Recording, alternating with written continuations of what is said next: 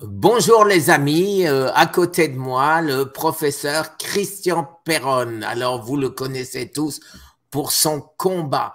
Un autre samouraï, mais autrement plus important que le petit samouraï que je suis. Alors, euh, Christian, que s'est-il passé? Alors, que s'est-il passé?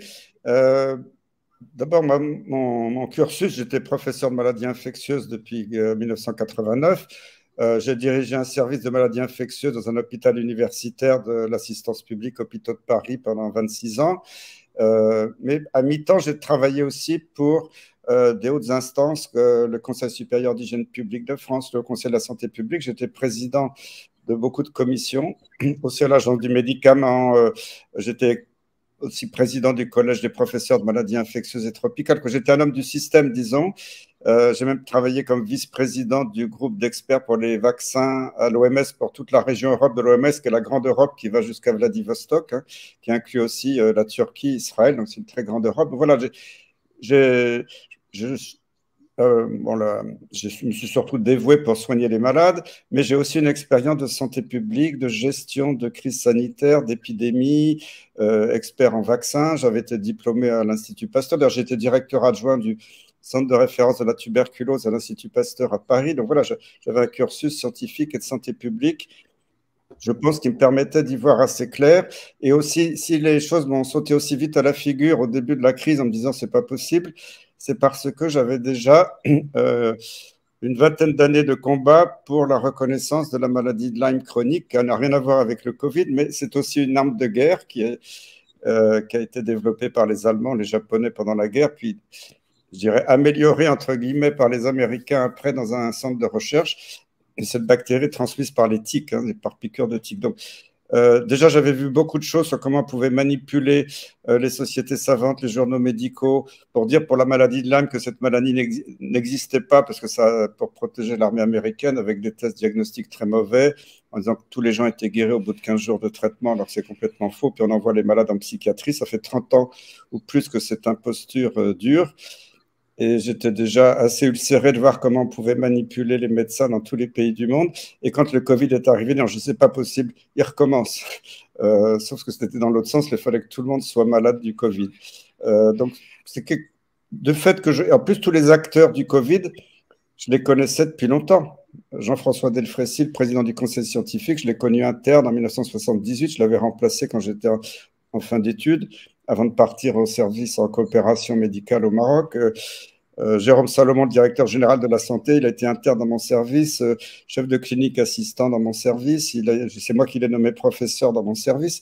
Donc voilà, quasiment tous, je les connaissais. J'avais même souvent travaillé avec eux avant, je les avais côtoyés, donc je connais un peu tout le système de l'intérieur. Voilà, donc c'est pour ça que quand la crise Covid est arrivée, j'ai dit c'est pas possible, tout est géré à l'envers, en dépit du bon sens. Et pourquoi? Et pourquoi, pourquoi a-t-on remplacé les éminents scientifiques français par des inconnus euh, que je pourrais dire des incites, des qui nous expliquaient des choses qui n'avaient rien de scientifique et j'étais personnellement sidéré euh, devant la télévision, devant les quand je lisais des journaux, de lire euh, des choses euh, qui, qui, qui n'avaient pas de base scientifique. J'ai sauvé ma vie grâce à la science et la science, on l'a mise de côté. tout à fait. C'est ça qui m'a beaucoup choqué, c'est qu'au lieu d'avoir du bon sens, d'analyser les choses avec euh, un esprit scientifique, on nous a raconté des salades jour et nuit non-stop à la télévision, mais a posteriori, je le comprends, parce que tout ça, c'est un gigantesque complot mondial qu'on a fait avaler à tous les peuples. Euh, ils ne pouvaient le faire qu'avec l'aide des médias. S'il n'y avait pas eu les médias, toute, cette polémique, elle aurait été terminée en trois mois. Euh, mais euh, c'est Macron lui-même qui le dit, c'est pas moi. Il a donné, il avait déjà avoué avoir donné 3 milliards d'euros aux médias, aux quelques médias principaux à ses ordres. Il a, je crois qu'il a donné une rallonge récente, donc on doit être à 3 milliards et demi d'euros donnés par le gouvernement pour que les médias euh, nous racontent des salades tous les jours. C'est terrible parce que effectivement, il y avait des invités sur les plateaux qui affirmaient des choses sans aucun support scientifique, mais euh, pour eux, c'était l'évidence scientifique. si vous voulez rigoler, vous regardez quand l'année dernière, il y a un an et demi, il y avait Véran, des médecins de plateau, qui affirmaient très sur deux, maintenant c'est certain que le vaccin Covid, c'est prouvé, ils disaient, hein, c'est prouvé que le vaccin Covid protège à 95% contre la transmission. Et puis l'année d'après, on apprend de la, une des directrices adjointes de Pfizer, euh, quand elle est auditionnée euh, au Parlement européen, qu'en fait, elle avoue, elle avoue quand même devant tout le monde, ben non, on n'a jamais fait d'études montrant que ça avait un impact sur la transmission. Et maintenant, on sait que ça n'en a eu aucun. Donc voilà, tous ces mensonges, c'était en série, en série. Et moi, à chaque fois, euh, je sautais sur ma chaise en disant c'est pas possible qu'on continue de manipuler les foules comme ça. Alors, une petite question. Je n'arrive pas à comprendre pourquoi euh, tu, as dit le mot euh, conspiration. Je pense quand même pas que tous les gouvernements du monde étaient complices, mais ils sont néanmoins tous allés dans le même sens. Ils ont tous cru ce qu'on leur disait et ils l'ont pris comme vérité absolue. Tu as une explication à ça? Ah, L'explication, c'est qu'il y a un complot mondial, on ne peut pas le nier maintenant, puisque. Alors, je ne dis pas que c'est tous les gouvernements, c'était les gouvernements sous influence occidentale, qu'on peut rappeler grosso modo un peu les pays de l'OTAN qui ont essentiellement euh, fait la même politique. Et ce qui été frappant, alors maintenant on sait que c'était des grands cabinets de conseil comme McKinsey, puis il y en a d'autres, qui ont euh, écrit tous les textes, toutes les recommandations pour les gouvernements. Et le même jour, euh, le même texte, la même loi sortait en Australie, en Norvège, en Suisse et en Argentine. C'est-à-dire, on voit vraiment qu'il y avait une coordination mondiale. Après, il y avait des gouvernements qui étaient complètement impliqués, je dirais, dans cette manipulation, d'autres qui ne l'étaient peut-être pas beaucoup, mais qui, vu que tout le monde suivait le mouvement, ils se sont dit, bah, ça doit être la, la bonne voie. Mais heureusement, ce n'est pas le monde entier l'Afrique a résisté, une bonne partie de l'Asie a résisté, une bonne partie de l'Amérique du Sud a résisté. Et c'est ça qui, et d'ailleurs, on a vu qu'ils ont eu des résultats bien meilleurs. Ils ont eu beaucoup moins d'épidémies, ils ont eu très peu de morts euh, par rapport à des populations énormes comparées aux pays dits riches. Moi, ce qui m'avait frappé dès, dès la première vague, c'est qu'il y avait autant de morts en France que dans tout le continent africain. Et dans tout le continent africain, la moitié des morts, ils étaient en Afrique du Sud, qui était le pays le plus sous l'influence de l'industrie pharmaceutique. Euh, donc ça, sautait aux yeux qu'il y a quelque chose qui clochait. Oui. Oui.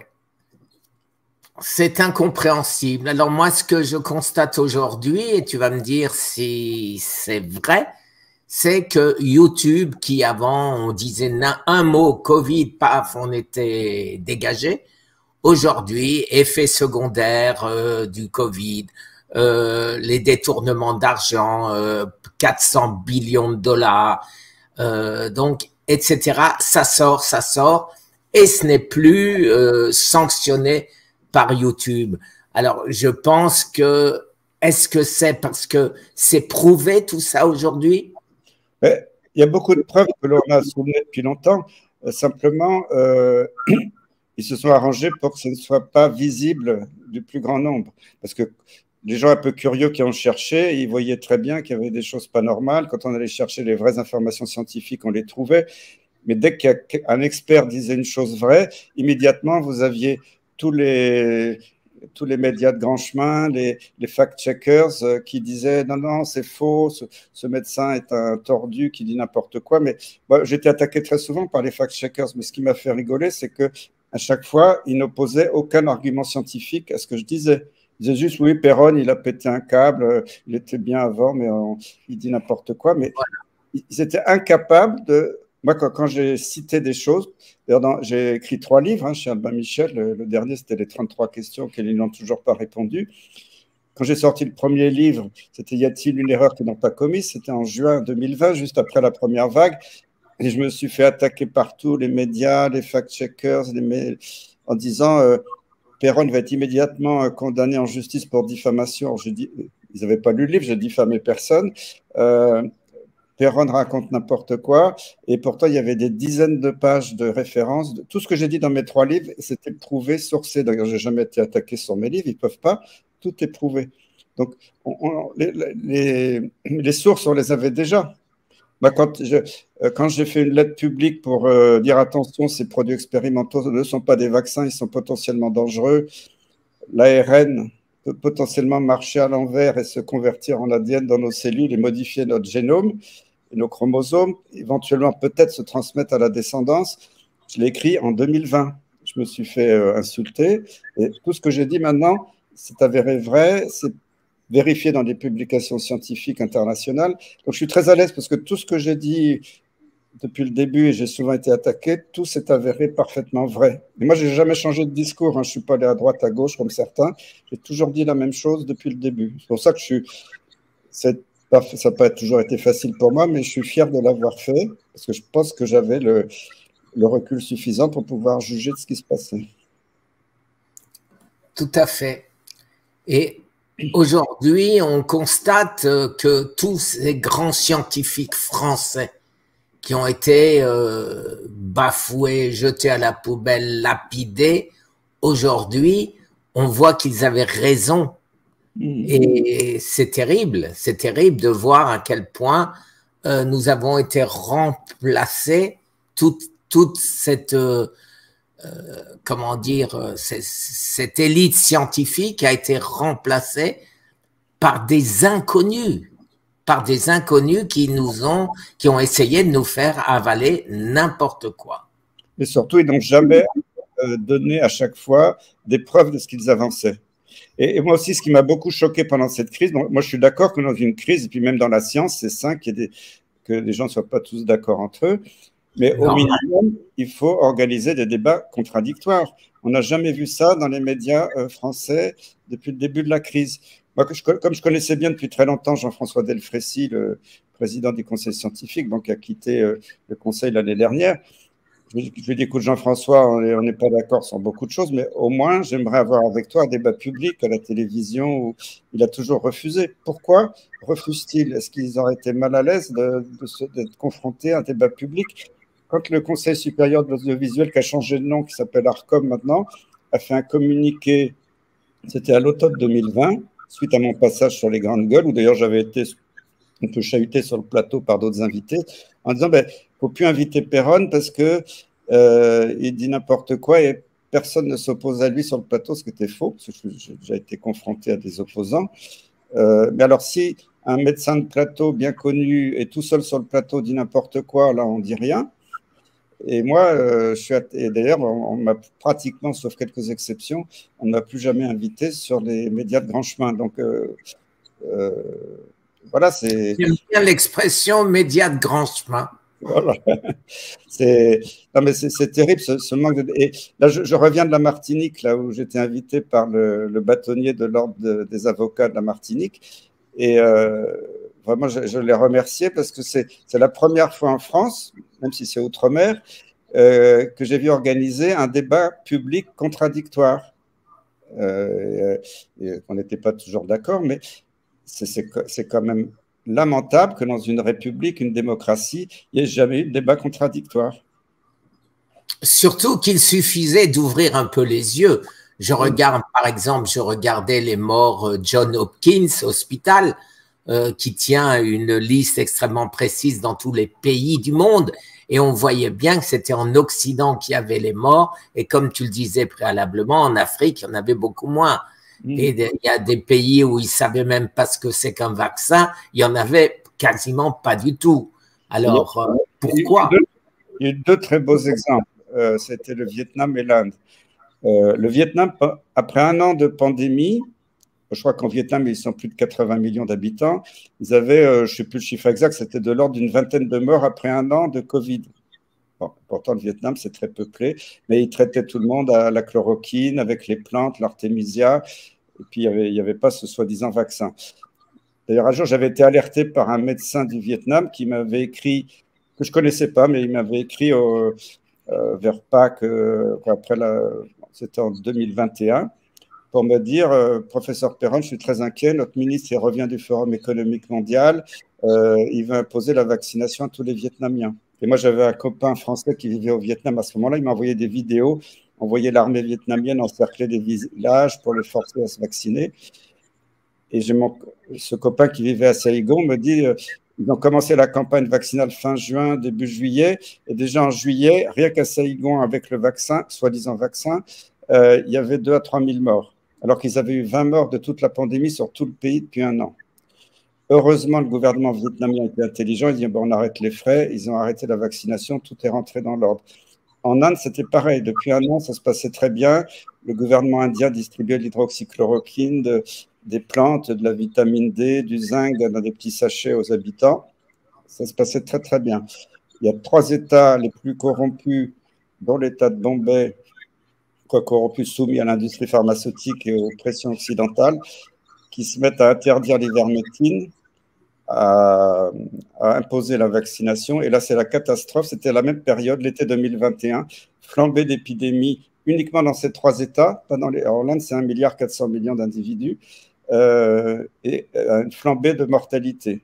Et heureusement, là encore, le gouvernement fédéral indien a dit bon, on arrête les bêtises, stop, ils arrêtent ce soi-disant vaccin et ça redégringole. Et cerise sur le gâteau, euh, Emmanuel Macron a fait cadeau de tous les stocks de remdesivir, ce médicament très toxique qui a quand même été responsable de morts et d'effets secondaires très graves. Il n'a absolument pas soigné le Covid. Comme il voyait qu'il en avait acheté pour très cher, mais c'était 2000 euros l'injection, hein. comme il a, il a vu que les médecins français n'osaient plus l'utiliser, il en avait fait cadeau aux Indiens, dans ces États justement qui vaccinaient. Donc, quand on regarde avec le recul, tout ça est absolument ignoble. Oui pas d'autre mode. Alors, euh, aujourd'hui, euh, donc là, c'est officiel aussi, on parle euh, d'une surmortalité 2022. Ah oui, mais c'est énorme. Alors moi, j'avais commencé à voir ça au Portugal l'année dernière, à l'été 2020, oui, c'était à l'été 2022. Il y a des médecins, des journalistes, des, experts du, du, Portugal qui commencent à interpeller le gouvernement en disant on a on a 20% d'augmentation de mortalité, y compris dans les tranches d'âge plus jeunes, 20-50 ans. Euh, d'où ça vient? Le gouvernement reconnaît l'excès de mortalité. Il dit Ah, on ne sait pas d'où ça vient. Après, il y a eu le CDC d'Atlanta aux États-Unis qui a reconnu une surmortalité. Ah, on ne sait pas d'où ça vient. Unknown origin, origine inconnue. Après, il y a eu la France, le, le journal Le Parisien, qui n'est pas un journal complotiste, a fait un article à la fin de l'année 2022 pour dire Oh là là, c'est bizarre, excès de mortalité en France y compris chez les plus jeunes, euh, mais on ne sait pas d'où ça vient. Euh, et même euh, récemment, il y a eu une reconnaissance officielle par les autorités d'une augmentation de mortalité, mais il y a des pays qui ont permis de, la Grande-Bretagne, je crois que c'est plus accessible à un moment donné. Par exemple, en, Angleterre, on pouvait avoir accès dans les bases de données parmi les gens qui étaient décédés, par exemple, qui était vacciné ou pas. Vous savez qu'en France, Laurent Toubiana l'a demandé plein de fois aux autorités, ils ont toujours refusé de donner les données, ça doit être assez compromettant pour le gouvernement, je pense. Eh bien, déjà, je l'avais dit à la télé, ce qui m'avait valu d'être très attaqué, je l'avais dit fin, euh, fin 2021, qu'en euh, en Angleterre, euh, quand quelqu'un rencontrait le virus, était susceptible de faire une forme grave. S'il était vacciné, il avait quatre fois plus de chances de mourir qu'un non vacciné. C'était les données brutes. J'avais même envoyé les courbes, à, je dis ça sur CNews à l'époque, j'avais envoyé les courbes aux journalistes pour leur dire, oui, je raconte pas des histoires. Bon, ils ont, la rédaction n'a pas osé projeter les courbes pendant l'interview, c'était peut-être trop, trop embarrassant pour eux, mais les données, elles existaient. Donc maintenant, ils se, alors que le Covid, il suffit de lire le livre de Pierre Chaillot, qui est remarquable et qui réanalyse les, données publiques françaises. On le savait déjà, mais le Covid a très peu tué. C'était 0,00 quelque chose. Et là, beaucoup de, décès ont été attribués au Covid avec un faux test PCR positif et les gens ne mouraient pas du tout du Covid. Hein. On a grossi les chiffres artificiellement. Et il n'y a eu aucun excès de mortalité dans la population générale, sauf chez les plus de 85 ans, très obèses, qui avaient des facteurs de risque majeurs, des diabètes extrêmement sévères. Là, il y a un petit excès de mortalité, mais qui a été comparable à ce qu'on a vécu dans des épisodes de canicule ou de grippe sévère dans le passé. Donc, il n'y a, pas eu du tout cette hécatombe qu'on nous annonçait que tout le monde allait mourir. On a, on a manipulé les gens par la peur. Donc, pendant le Covid, finalement, un excès de mortalité très modéré chez les personnes à risque, on aurait pu euh, guérir à 80% si on avait laissé les médecins traitants prescrire très tôt l'hydroxychloroquine, l'ivermectine, l'azithromycine, etc. Euh, et puis ceci, c'est prouvé aujourd'hui que ah ça marche? Il n'y a plus aucun doute. Euh, c'est dégoûtant ce qu'on fait à Raoult maintenant. Il y avait déjà en Chine une étude randomisée qui était publiée par le docteur Chen qui avait, euh, c'était avant Raoult, hein. même si la publication elle, est sortie quelques temps après, mais sais plus, c'était au mois d'avril-mai, l'étude datait déjà de, plusieurs mois. Ils avaient randomisé des gens qui avaient une, forme moyennement sévère de Covid avec des images radiologiques au scanner, donc les Covid prouvés. Ils avaient tiré au sort euh, hydroxychloroquine contre placebo. Il n'y avait pas photo, l'hydroxychloroquine faisait bien mieux. Mais il les traitait précocement, pas, ils n'attendaient pas la suffocation. Après, il y a eu beaucoup d'études bidons où euh, on donnait la chloroquine qu'en fin de course, des trop Alors, c'est des études qui ont été faites exprès euh, de, façon erronée pour pouvoir dire que ça ne marchait pas. Il y a eu quand même des études comme Recovery qui étaient euh, financées par l'OMS avec aussi une université anglaise. Je sais qu'il y a des médecins français qui ont participé. Il n'y a pas eu beaucoup de malades français inclus, mais c'était international. C'était surtout des Anglais. Ils ont utilisé cinq fois la dose maximum autorisée chez l'homme. C'est une dose potentiellement mortelle, parce qu'on sait que l'hydroxychloroquine à forte dose, c'est un agent du suicide. Et ils ont donné une dose. Effectivement, il y a eu un excès de mortalité, mais ils ont utilisé une dose quasiment mortelle d'hydroxychloroquine. Ces gens-là devraient aller en prison. Comment un comité d'éthique a autorisé ça? C'est absolument scandaleux. Et maintenant, il y a des méta-analyses faites en direct qui reprennent toutes les publications sur l'hydroxychloroquine. Il n'y a pas photo, ça marche. Il n'y a pas besoin d'un placebo quand un produit marche à, à 75% ou à plus de 70%. Et c'est pareil pour l'ivermectine. Il y a des méta-analyses, ça marche. Il y a ceux qui disent ça sont des gens qui sont de mauvaise foi totale.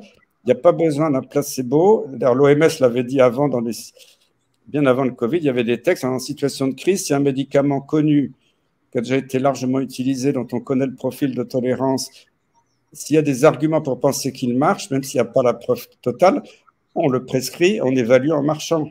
Or là, ils, ont, fait tout l'inverse, ils ont interdit.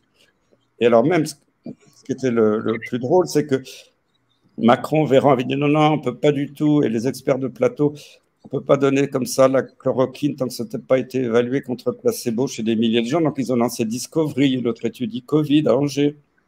On tirait au sort les gens avec plein de groupes de traitement. Alors, ils ont donné du remdesivir alors qu'il n'y avait aucune étude préliminaire chez l'homme. Ils ont donné.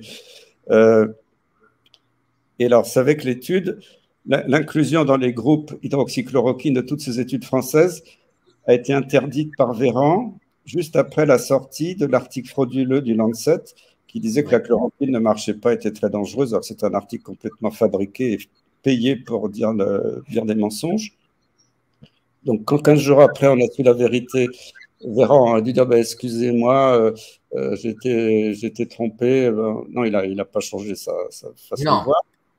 Et alors, ce qui est très drôle, c'est que euh, ce n'était pas la vraie analyse intermédiaire mais les données en temps réel des résultats des groupes dans l'étude Discovery, et, pardon, et aussi pour e-Covid, euh, ça avait circulé sur des diapositives parce qu'il y avait des, il y avait eu des, des réunions d'experts qui analysaient les données de l'étude où elle en était. Et on voyait très clairement que le seul groupe de patients qui marchait bien, qui avait une mortalité inférieure, c'était ceux qui avaient reçu l'hydroxychloroquine et pour Covid, l'hydroxychloroquine, azithromycine, ça sautait aux yeux. Alors, c'était pas encore complètement significatif parce que comme ils ont arrêté l'étude, c'était volontaire, hein, juste avant, euh, on n'a jamais pu le démontrer. après, ils sont bien gardés. Puis quand tout le monde a dit ça, que les diapositives ont circulé sur Internet, il y a eu zéro démenti pour dire non, non, c'est faux, c'est pas les vraies diapositives. Donc, on s'est moqué de nous. Donc aujourd'hui, il y a eu 20 euh, experts français qui ont attaqué Raoult pour ces 30 000 malades. Euh, moi, j'étais avec euh, l'association Bon Sens, on était à la tête d'une lettre de soutien à Raoult. donc, j'étais dans le premier signataire. Maintenant, il y, avait, il y avait, presque 1000 signataires dans le monde entier, avec des grands experts des États-Unis, de beaucoup de pays européens et partout, pour soutenir Raoult. Euh, donc, c'était, on a demandé d'ailleurs à ce que les 20 experts qui ont attaqué Raoult euh, mettent à jour leur conflit d'intérêt parce qu'à eux seuls, ils ont d'énormes conflits d'intérêt avec l'industrie pharmaceutique. Donc, on voit bien que tout ça, c'est de la manipulation parce que vous vous rendez compte, une étude qui prouve sur 30 000 patients que l'hydroxychloroquine marchait extrêmement bien, euh, ben, c'est très dangereux pour le gouvernement.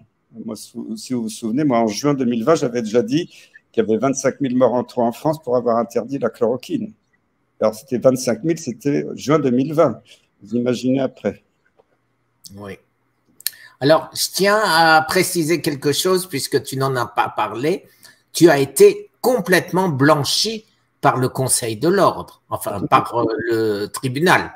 C'est la chambre disciplinaire de la, de la région Île-de-France. Voilà. Donc, ils t'ont attaqué. Après, il fallait bien trouver quelque chose contre le conspirationniste Perron. Et donc, euh, ils sont faits euh, complètement euh, rejetés. Qu'a dit la chambre disciplinaire? Elle a dit finalement, vu mon CV, j'étais une des rares personnes à avoir la, capacité à juger la situation. Ils ont dit aussi, vu mon expérience nationale, internationale, j'avais non seulement le droit d'émettre un avis divergent des autorités, mais j'en avais même l'obligation. Hein. Bon, alors maintenant, le Conseil national a fait appel parce qu'ils étaient vexés, mais moi, je, moi, je m'en fiche. De toute façon, j'ai toute la vérité avec moi. Il y a depuis, il y a tellement de vérités qui ont éclaté que je vois pas ce qu'on peut me reprocher. Je suis fier d'avoir pris ces positions. Tout ce que j'ai dit a été prouvé. Et on, voit que voilà, ça ne va, pas ça va pas changer ma vie si je repasse un jour en appel. C'est eux qui sont mal à l'aise. Tu gagneras, tu gagneras parce que tous les jours. Voilà. Euh, Maintenant, j'ai vu ton combat au Conseil de l'Europe. Il ah, consiste quoi? C'était au Parlement européen, pas au Conseil. Au Parlement européen, excuse-moi. Alors, effectivement, j'ai été deux fois au Parlement. Alors, une fois à Strasbourg, invité par le petit groupe de députés européens remarquables. Donc, en France, il y a Virginie Joron, mais il y a des députés d'Allemagne, de Hollande, de Croatie, de Roumanie et de plusieurs pays euh, qui font un combat remarquable. Euh, qui essaie de mettre en difficulté Ursula von der Leyen, la, présidente du, Conseil de l'Europe, qui n'a jamais été élue. De par son statut, n'a aucune compétence euh, en termes de santé ou d'armement, et pourtant c'est elle qui achète des milliards de vaccins, de pseudo-vaccins, ou qui achète des armes pour l'Ukraine. Donc c'est cette femme, elle n'a pas le droit de faire tout ce qu'elle fait. Donc c'est bien qu'il y ait de la résistance au sein du Parlement. Donc j'avais fait une conférence. Et puis je suis retourné au Parlement européen, cette fois-ci à Bruxelles où il y avait énormément, euh, toute la journée, il y a eu des conférences scientifiques faites par des grands experts du monde entier. Alors moi, j'ai pas eu beaucoup de temps de parole le soir parce qu'ils étaient très en retard dans la journée, qu'on a raccourci mon intervention de 15 minutes à 5 minutes. Donc, malheureusement, j'ai pas eu beaucoup de temps de m'exprimer, mais euh, j'ai assisté à toute la journée, c'était passionnant. Il y avait notamment le professeur Burkhardt, euh, un professeur allemand, euh, qui est un peu âgé, mais il a, il a, c'est lui qui a fait dans le monde, je crois, le plus d'autopsies à la fois de gens qui avaient le Covid ou qui étaient morts après la vaccination. Il montrait comment les, les inoculés avec ce pseudo-vaccin étaient bourrés de la protéine de pointe, la protéine SPAC, il y en avait partout dans le cerveau, les testicules. Il montrait des, des images comme quoi les, les, les, garçons inoculés n'avaient plus de spermatozoïdes, mais avaient que de la protéine SPAC dans leurs testicules. Alors malheureusement, moi j'étais à côté de lui à la conférence de presse le lendemain. Et j'ai appris malheureusement que le professeur Burkhardt était mort noyé 15 jours après. J'espère que c'était accidentel. Euh, voilà, donc j'ai rencontré vraiment des gens passionnants, des experts de très haut niveau du monde entier. Et dans, cette expérience européenne, c'était à Strasbourg au mois d'octobre. L'après-midi, en attendant ma conférence, j'avais été assister à une réunion sur la liberté d'expression. C'était présidé par Raphaël Glucksmann. Il y avait Nathalie Loiseau, il y avait euh, des députés européens. Et ce qui était étonnant, c'est qu'il y avait deux Américains en visioconférence qui pilotaient ça un peu depuis les États-Unis, alors c'était le Parlement européen. Et ce qui m'a beaucoup choqué, c'était une réunion sur la liberté d'expression, et c'était, oh là là, il faut... Il y a trop d'informations dérangeantes sur euh, les réseaux sociaux, sur les médias alternatifs. Il est très urgent d'augmenter la censure. Alors, le prétexte est au nom des libertés, au nom de la démocratie. Et trois jours après, d'ailleurs, Emmanuel Macron fermait la chaîne Rumble en France, Rumble commençait à, concurrencer YouTube. Et là, on voit bien, ils essaient de censurer Twitter, ils essaient de. Maintenant, ils, ont voté en catimini l'autre jour le contrôle de nos téléphones portables, de nos ordinateurs pour nous espionner. Donc là, on se sent plus du tout en démocratie hein, aujourd'hui. Quand on commence à censurer à ce point-là et à contrôler les individus, ça sent très mauvais. Mais comment est-ce que c'est possible euh, d'avoir supprimé toutes ces lois garde-fous? Euh, Tout a disparu, on a tout oublié. Comme tu le disais, euh, c'est pas une démocratie, le pays de la France, c'est pas ça. Ah oui. Même, euh, comment elle s'appelle Christine Anderson, qui est la députée euh, allemande, européenne, elle l'a dit récemment, elle a dit, elle, avait l'impression d'être dans la même situation que les Allemands pendant la guerre, quand, Hitler montait en puissance, Hitler a toujours fait de façon légale, il a été élu, il a fait ça en douceur, euh, avant que cette dictature féroce ne s'abatte sur l'Allemagne et le monde entier. il a mis en confiance le peuple allemand. Et d'ailleurs, il y avait au tribunal de Nuremberg, on avait demandé à Göring, mais comment vous avez fait pour que tous les Allemands soient des moutons et vous suivent comme ça? Il a dit, oh, c'est très simple pour manipuler un peuple, il suffit de lui faire peur.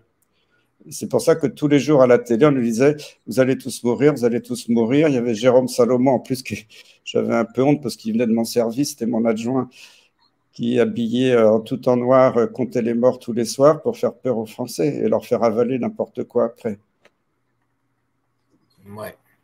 Alors maintenant, euh, passons à l'inquiétude qu'ont tous ces gens vaccinés. Est-ce que on doit redouter des effets secondaires? Alors, ce qui, ce qui m'inquiète, c'est qu'il y a des données qui commencent à... Parce que vous savez, quand, euh, quand on a un peu attaqué ces soi-disant vaccins, euh, les, industriels, les experts de plateau disaient vous inquiétez pas, l'ARN messager, il, peut vivre que quelques heures, il, ne diffuse pas au-delà du point d'injection on a prouvé le contraire. Il est éliminé en quelques heures, on a prouvé le contraire. Maintenant, on sait qu'il peut s'intégrer en ADN, faire des plasmides dans nos cellules, faire des, petits morceaux d'ADN autoréplicatifs. Euh, et on retrouve maintenant de la protéine spike chez certains plusieurs mois après la vaccination. J'ai lu même qu'on retrouve deux ans après chez certaines personnes. peut-être que tout le monde n'a pas la capacité génétique à, garder cette protéine éternellement, mais il est, clair qu'il va y avoir une partie de la population injectée qui va peut-être la produire ad vitam aeternam. Bon, pour l'instant, on n'a que deux ans de recul. C'est extrêmement inquiétant quand on sait que cette protéine est la partie dangereuse du virus. C'est elle qui génère l'inflammation, les thrombos, c'est-à-dire les caillots, responsables des embolies pulmonaires, des infarctus du myocarde, des accidents vasculaires cérébraux.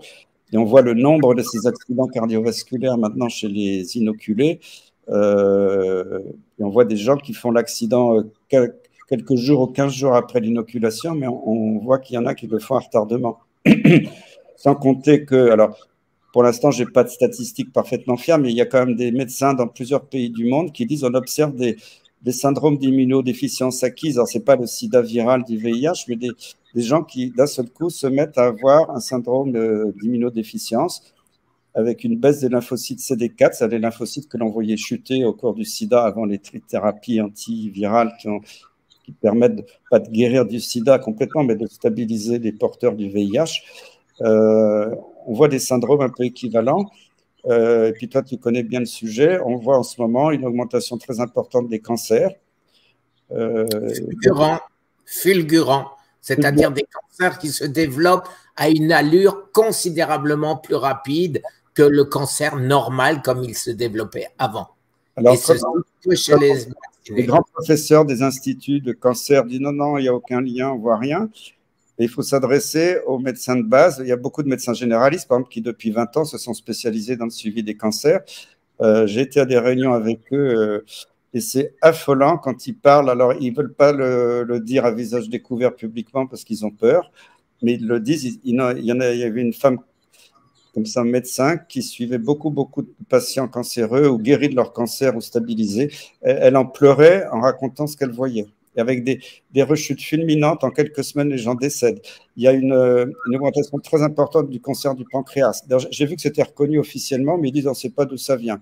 Euh, et, et aussi, ce qui est très choquant, ça tu connais ça mieux que moi, mais euh, il y a toujours eu des cas, mais tout à fait exceptionnels, que des gens développent en même temps un cancer de la prostate, de, du pancréas et d'un autre organe, mais pas des métastases, vraiment des deux ou trois cancers totalement différents sur le plan cellulaire. Et, là, euh, et, maintenant, et cette médecin me disait qu'elle en voyait régulièrement. Et là, comme je reviens de Martinique, je suis rentré hier, euh, là-bas dans les familles que j'ai rencontrées, il y avait des personnes qui avaient euh, en même temps cancer de la prostate, cancer, trois un cancer ganglionnaire, quoi, un lymphome malin, et puis un autre type de cancer, je ne sais plus lequel, de la thyroïde. Ou de... Et tout ça en même temps, c'est quasiment du jamais vu, sauf exception d'exception. Oui, avant, on avait un cancer mère qui pouvait se développer, mais on n'avait jamais deux, trois cancers en même temps. C'est Ça, c'est effectivement quelque chose de relativement neuf. Mais par contre, je tiens à te dire que j'y connais certainement beaucoup moins que toi et non pas le contraire. voilà, je ne suis pas médecin, je ne suis pas biologiste. Euh, j'ai sauvé ma vie simplement en faisant confiance à la science plus qu'à la médecine, à la médecine de certains médecins, bien sûr. Ce qui est terrible aussi, alors j'avais déjà repéré ça depuis un certain temps, c'est la façon dont les autorités, les cancérologues officiels attaquent les méthodes naturelles qui permettent de prévenir ou de, même d'améliorer, voire même de guérir certains cancers. J'y croyais pas, hein, mais j'ai rencontré des malades survivants comme toi. Euh, je sais pas, il y a L'année dernière, je rencontre par hasard un monsieur que je connaissais pas, qui était très chic en costard trois pièces avec la Légion d'honneur, voilà, qui, était âgé, mais qui me disait il y a, quatre ans, euh, on m'a diagnostiqué un cancer du pancréas, euh, on m'a dit que j'étais foutu, que j'en avais pour quelques mois. Bon, il a, il refusé les, les. Euh, il, s'est un peu renseigné, il a changé son mode alimentaire, il a supprimé le sucre. et puis il me dit, ben voilà, ça fait quatre ans, j'ai repris 15 kilos, ma tumeur a diminué des deux tiers et j'ai presque plus de métastases sans aucun traitement. Donc, il faut écouter ces choses-là. C'est pas. Mais, les, mais les, vous avez vu que les, naturopathes, tout ça, qui prônent ce genre de régime, sont attaqués, euh, même y compris en justice, pour charlatanisme, alors que c'est des faits.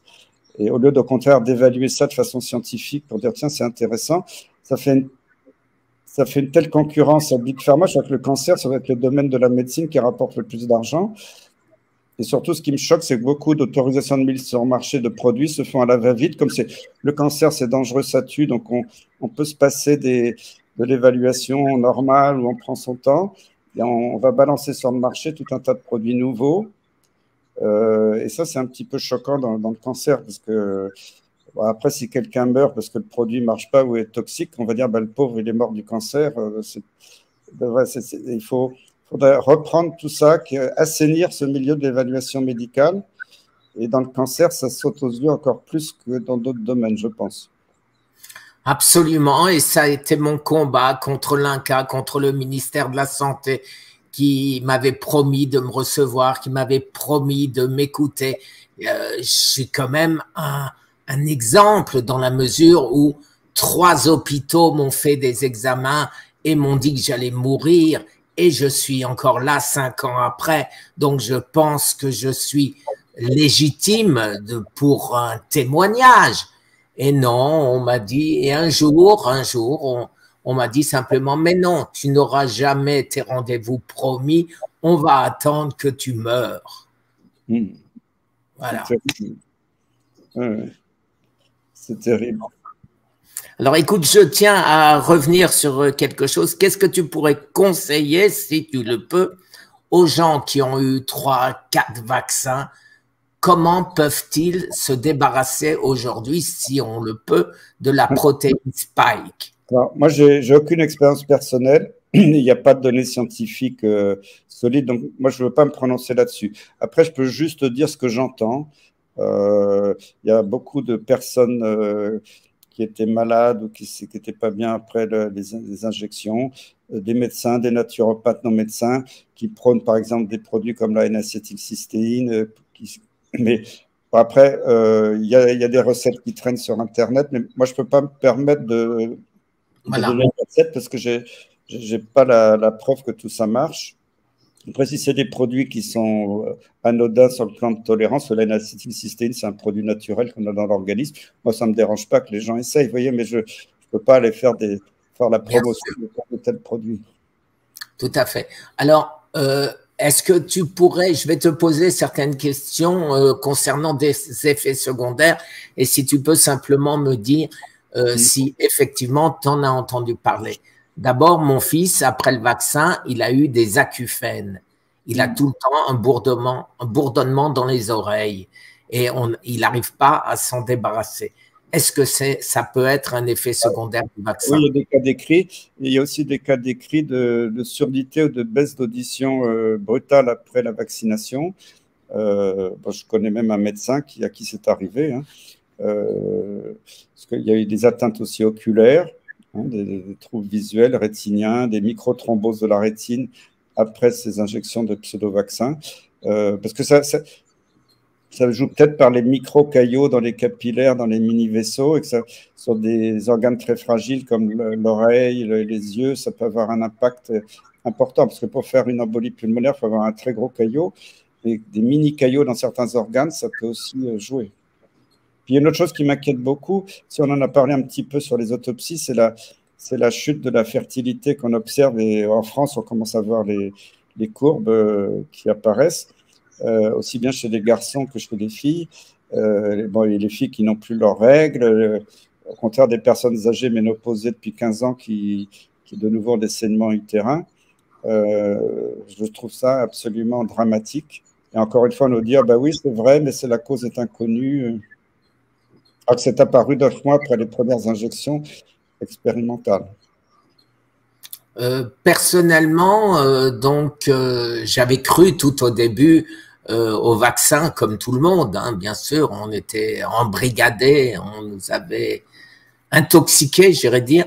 Et j'ai fait donc mes deux vaccins euh, euh, Pfizer.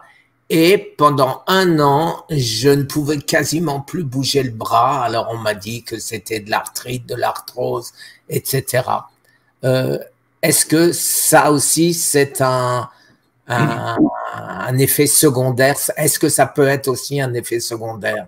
Tous ces effets, ça peut être un peu tout et n'importe quoi. On voit des gens qui, euh, qui développent des flambées de maladies auto-immunes aussi. Euh, moi, quand j'étais encore en activité, comme j'ai pris ma retraite il y a un, an et demi, mais je voyais encore euh, des malades atteints de la maladie de Lyme chronique que j'ai soigné pendant des années et certains que je connaissais depuis des années qui allaient beaucoup mieux. ceux qui s'étaient fait inoculer avaient plongé, ils avaient rechuté. Et puis ce que j'ai constaté, c'est que souvent les gens euh, inoculés avaient changé de caractère, étaient ternes, taciturnes, euh, ils regardaient leurs pieds, ils faisaient répéter quatre fois la même chose. Euh, j'ai eu des échos, même j'ai constaté des gens autour de moi qui avaient été vaccinés qui, étaient devenus agressifs. Alors c'était des gens tout à fait joviaux auparavant. Donc on a l'impression que chez certaines personnes, ça a même changé de caractère. C'est impressionnant quelquefois. Hein. Oui. Est-ce que l'autopsie, tout ce qu'il peut y avoir dans le cerveau chez les vaccinés, on n'est pas très étonné. Est-ce que le fait de cette réduction, puisque c'est ce que je lis moi aussi, euh, de notre système immunitaire euh, risque d'être permanente ou euh, certains sont en faisant un peu ce que je fais, c'est-à-dire en, en, mangeant alcalin, bon, enfin, mon système, euh, est-ce qu'on récupère la totalité de son immunité? On ne peut pas dire aujourd'hui on manque de recul, puis il n'y a pas de publication vraiment fiable, puis il n'y a aucun financement, bien entendu, public ou venant de l'industrie privée pour ce genre d'études. Ils ne sont pas fous, ils ne vont pas financer des choses qui risquent de montrer l'inverse de ce qu'ils racontent. Euh, mais il faut avoir confiance aussi dans l'espèce humaine, parce qu'il y a une grande diversité génétique. Même quand il y a une épidémie très sévère qui peut avoir un taux de mortalité élevé, il y a toujours des gens qui vont faire une forme bénigne, des gens qui vont faire une forme asymptomatique, des gens qui vont complètement résister, alors que d'autres vont, vont mourir. Donc, moi, je pense que selon le terrain génétique des gens, et peut-être selon la qualité, le type de vaccin, les gens ne vont pas réagir de toute façon. Je ne sais pas si vous avez vu, c'est paru il y a quelques jours dans une revue internationale à comité de lecture. Il y a des experts du Danemark qui ont confirmé ce qu'ils savaient déjà, mais qui n'était pas prouvé formellement, euh, que euh, les lots des vaccins sont très différents. Euh, donc, ils ont réussi à, corréler les numéros de lots avec les effets secondaires rapportés à l'agence du médicament du Danemark. Ils ont pu voir qu'avec certains lots, il n'y avait presque pas d'effets secondaires. Avec d'autres lots de vaccins, il y avait énormément d'effets secondaires graves. Donc, on voit bien que même dans un pays, ils n'ont pas vendu la même camelote selon les individus il faut se souvenir de cette vidéo de cette cadre infirmière de, je crois que c'était en Slovénie. Ça date de 2020 hein, ou 2021. C'était après le lancement de la campagne vaccinale en Slovénie. Donc ça devait être plutôt 2020, début 2021. Euh, à un moment donné, elle a craqué. Elle a dit publiquement un visage découvert. Après, on l'a pas revu. Je ne sais pas si qu'est-ce qu'elle est devenue. Euh, mais elle a dit publiquement. Euh, c'est pas normal, il y a des lots différents et on sait selon le numéro si c'est du placebo, si c'est faiblement dosé, si c'est fortement dosé. On nous a recommandé de faire l'autre placebo pour les personnalités politiques, les médias, les journalistes, etc. Donc, si quelqu'un l'avoue dans un pays du monde, je ne dis pas que c'était pareil en France ou ailleurs, mais il y a une probabilité que ce soit aussi possible dans d'autres pays. Oui, c'est terrible. quand Jean, Lassalle a, quand Jean Lassalle a dit que Macron, les députés en France n'avaient pas été vaccinés, bon, moi, je n'ai pas la preuve, mais il l'a dit, il n'a jamais été inquiété ni euh, attaqué en diffamation. Hein. C'est comme un petit signe. Hein. Oui. Alors aujourd'hui, euh, je vois euh, des articles qui sortent depuis à peu près trois mois, mais de plus en plus, sur les patients zéro, qui sont, trois, qui, sont des chercheurs de Wuhan. est-ce que tu penses que, est-ce qu'on sait aujourd'hui euh, d'après ce que disent les Américains, que c'est un vaccin, euh, c'est un virus fabriqué à Wuhan qui s'est échappé. Alors, que le virus soit modifié, maintenant, il n'y a plus beaucoup de doutes. Euh, si tu as écouté, comme il s'appelait, Martin, le député européen là, qui, a, fait une, je sais pas il a fait une communication au Parlement européen, en tout cas, euh, il a dit que Anthony Fauci avait fait, parce que les coronavirus dans l'histoire sont des virus assez bénins qui touchent beaucoup d'espèces animales, qui touchent l'espèce humaine. Mais moi, quand je faisais les études de virologie à l'Institut Pasteur dans les années 80, les coronavirus, ça donnait des rhumes et des bronchites. Hein, ça n'a jamais tué personne. Hein, C'était des virus plutôt bénins.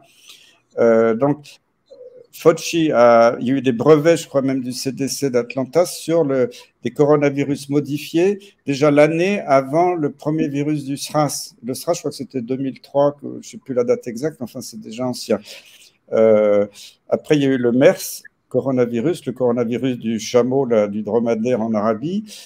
Il y a aussi des doutes pour savoir s'il a été modifié. Et le SARS-CoV-2, le nom SARS-CoV-2 date pas de, de, Wuhan. Il était déjà breveté en laboratoire plusieurs années avant. Il y a les fameux brevets de l'Institut Pasteur que Fortillon avait montré. il s'est fait attaquer, mais les brevets, ils existent. Hein. Euh, on voit dans les brevets, ben, il y a Sylvie Van der Werf, Jean-Claude Manugera. À l'époque, c'était des copains, c'était des virologues de Pasteur que je connaissais. Alors, au début, ils ont nié, puis après, le pasteur dit oui, oui, on a, modifié le virus, mais c'était pour euh, chercher un vaccin sur le sida ou le paludisme. très bien, moi qui modifie un virus pour faire un vaccin, c'est bien, mais euh, on ne peut pas savoir si après ça s'échappe. Et puis, les, brevets de Ralph Barrick en Caroline du Nord, à Chapel Hill. Donc, on voit qu'il y a eu des brevets en France, aux États-Unis. Probablement qu'il y a encore eu des modifications en Chine, parce qu'on sait que Anthony Fauci a financé les gains de fonction euh, auprès des équipes chinoises. Après, de savoir si c'est échappé, une polémique, il y a des gens qui disent que c'est échappé du labo en Chine, il y en a d'autres qui disent que ce sont les, puissances occidentales qui ont apporté le virus lors des Jeux olympiques euh, militaires à Wuhan euh, quelques temps avant, ça je ne peux pas trancher. Mais ce qui est quasiment certain maintenant quand on voit les, séquences qu'il y a dans ce virus, c'est qu'il y a des séquences qui ne sont pas naturelles. Voilà.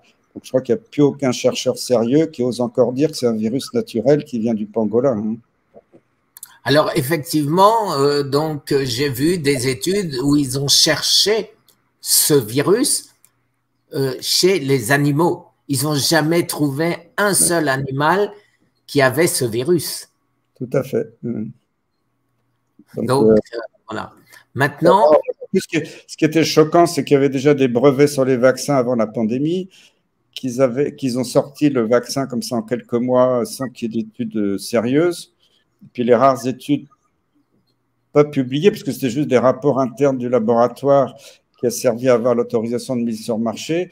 Euh, tu te souviens, il y avait une chercheuse américaine, je ne sais plus son nom, qui travaillait pour une boîte privée qui sous-traitait pour, euh, je ne sais plus c'était Pfizer ou Moderna, pour, euh, pour mouliner un petit peu les données statistiques pour finaliser le rapport. elle a, comme elle était très choquée, elle l'a publié dans le British Medical Journal c'était en 2020, je crois, elle a dit euh, attention, euh, il y a des résultats qui sont truqués, euh, les, données ne sont pas, sont pas honnêtes.